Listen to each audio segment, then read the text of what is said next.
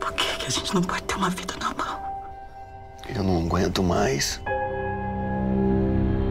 Você está predestinado, Arigó. Essa é sua missão. Eu não aceitei missão nenhuma!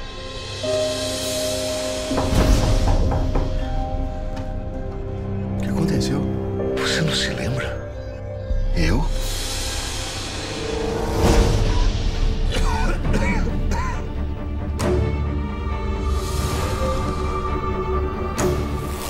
Zezé, você não pode dar ouvido a essas vozes, só vai piorar. Mas o tumor não está mais aí. Eu tô curado. Se eu não fosse ateu, eu diria que é um milagre. Arigó, aceita. Esse é seu destino.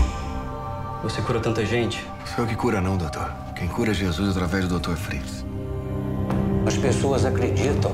Tem gente vindo do exterior. Eu queria muito agradecer todo mundo que tá aqui hoje.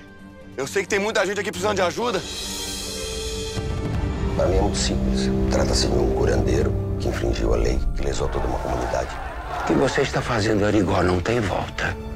Isso não é de Deus. Se não é de Deus, é melhor eu ir embora, então.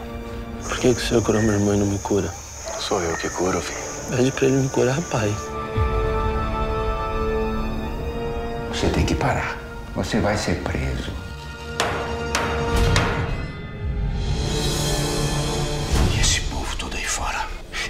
Você mande eles embora.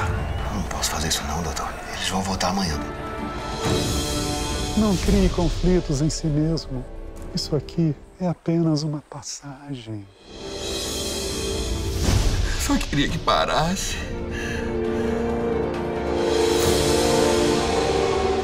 O doutor Jair falou pra mim pra não receber mais nenhum famoso.